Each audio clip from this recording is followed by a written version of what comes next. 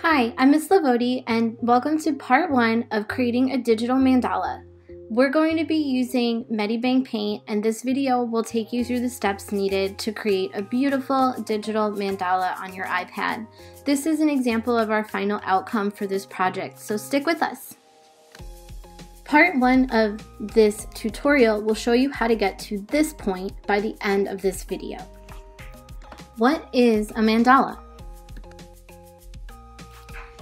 A mandala in Sanskrit literally means circle. It's a spiritual and ritual symbol in both Hinduism and Buddhism, representing the universe. In common use, mandala has become a generic term for any diagram chart or geometric pattern that represents the cosmos metaphysically or symbolically, a microcosm of the universe.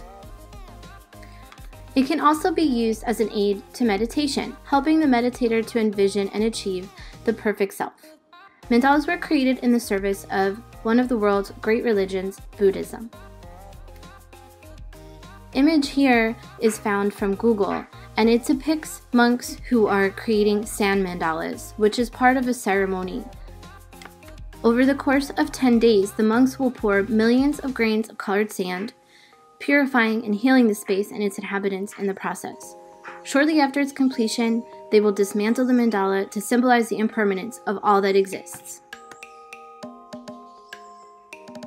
What principle of design is best seen in a mandala? The Mandala project will utilize the design principle of balance, specifically radial balance, which is the balance around a central point. Other forms of balance include symmetrical and asymmetrical. Symmetrical balance is a mirror image or reflection, so the balance is the same on both sides. Asymmetrical is not a mirror image. It is balanced, but it is not exactly the same on both sides. Balance refers to the visual weight within a composition. Before we begin, make sure that you have accessed the template from Schoology that looks like this. This is for our mandala template. It has a gray side and a black side, and this file should be a PNG file. So in Medibang Paint, it should appear with a transparent background that will be visible as a checkerboard. If for some reason it does not show you as a checkerboard, then please let me know as soon as possible.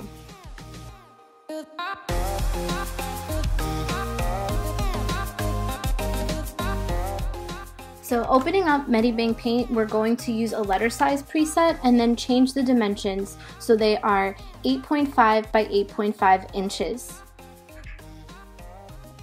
You want a square format for this project, so just make sure you are typing in the correct dimensions in inches so it is a square. I recommend pinching in the screen so the page is completely visible while you're working. I'd like you to double click the picture icon in the layers box to duplicate your transparent layer. So you should now have two transparent layers. And then we're going to click the plus sign, select an image to add, and add in your mandala template. From here, I want you to scale it up a little bit more so it is a little larger. Notice there's still room with white space around it. And do not extract the line art. Either hold your template layer and drag it so it can be moved under your transparent layer. You want to preserve the template, so no, don't draw directly on it.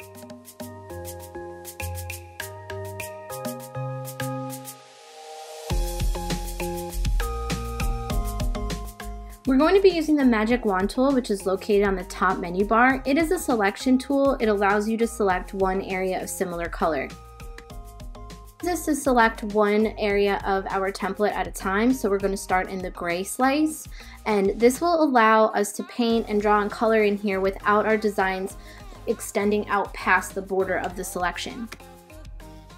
To begin, you're going to select the magic wand from the top menu bar and then tap the gray piece of your template. Now you'll see that there is a selection around the gray. This means that we won't be able to color outside of this space. You're going to next select the paint bucket tool, but make sure you are in your highlighted top layer and that you're never applying color directly to your template layer.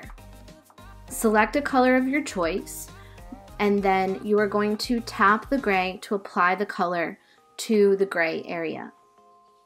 So I'm selecting a pink, tap the screen. Now my color is changed from gray to pink. I'm going to go into my brush tool next and from here I'm going to be experimenting with different brush designs that I can apply to this piece of my template. So you're going to select your brush tool and start selecting some contrasting color from your color picker. You're going to keep your magic wand tool in place so don't deselect your template you're going to be able to draw lines and designs and extend them out past your template. And because of the Magic Wand tool, those designs will not extend out. Use contrasting colors, let your brushstrokes go to the edge of the piece and play with overlapping lines in a variety of sizes, colors, and how you space out your brush tool so that way you can make different patterns and marks within your template piece.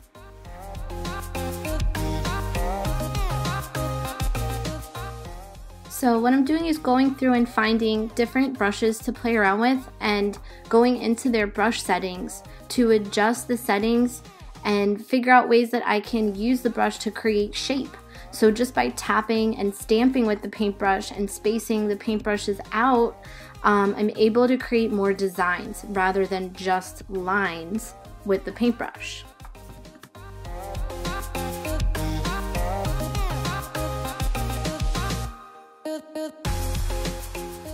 You need to get into your brush settings and really play around and move things, adjust the settings, and see what you can get these brushes to do to be as creative as possible with your designs. And notice that I'm still allowing myself to see to some of that pink background color. That's okay, that color doesn't need to disappear, but I do want to fill up the space with designs that are contrasting designs.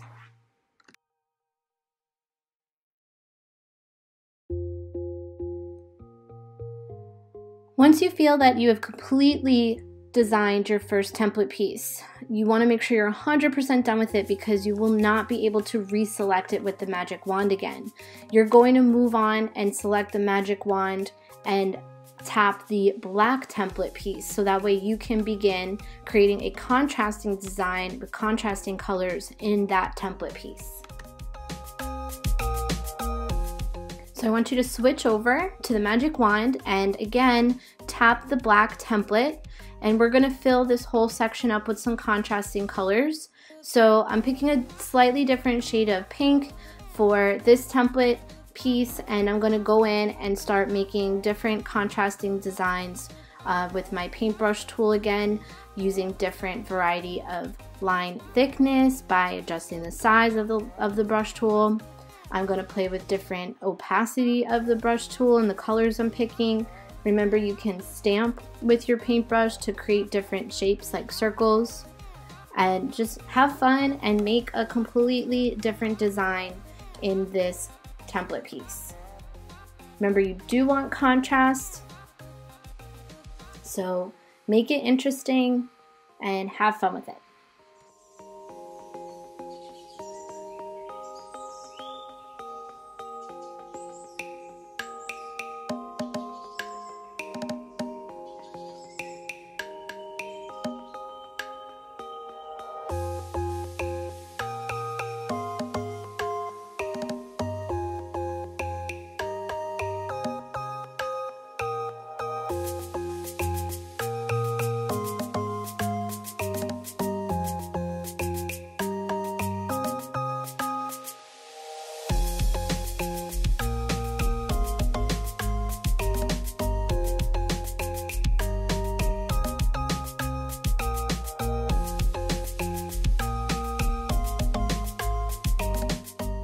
Now it's time to take this piece and make a full circle out of it. You're going to first deselect the mandala template piece that you're working on by clicking the magic wand tool and clicking to deselect. You'll see that option at the top of your screen. So make sure you're doing that so that way we can free up our workspace and be able to create a full circle from this piece. We're going to duplicate this mandala piece by clicking the double picture icon in the layers box. This will make an exact duplicate of the layer for you. So I'm tapping the double layer icon and I am going to have two pieces now stacked on top of each other. In order for me to start turning this into a circle, I'm going to click the three dots and click flip left or flip horizontal. This will make a symmetrical image for me. So I'm noticing that I have a half circle now and I want to nudge it over to make sure that there's no gaps in between the two pieces. So I'm going to move over to the cursor tool that looks like the little crosshairs. It's on the top menu box, top menu layer. And we're gonna just nudge it over so that way these pieces do not have any spaces in between them because later on those pieces that are separate will show up and we don't want that. So I'm in that move tool and I have just adjusted it. Now I'm going to duplicate this flipped piece by clicking the three dots in the layer box again, and this time I'm selecting to flip it vertically. So I have duplicated my slice, and now I am clicking flip vertical. Here you can see that there is a little bit of that gap there again, so go back into your move tool and nudge it to adjust it into place. It's okay if the pieces overlap a little bit. You'd rather have a little bit of overlapping than have the white space gap showing through. Now we're going to duplicate this piece. So we're repeating that process, three dots, click flip left or flip horizontal, whatever option is available to you on your Medibang Paint version. So this has to get flipped over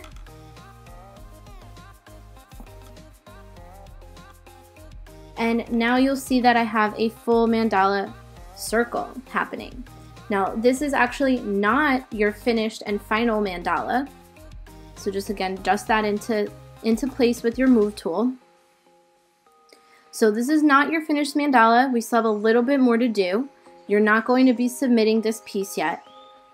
But what I'd like you to do is take a screenshot and submit this as your process for today.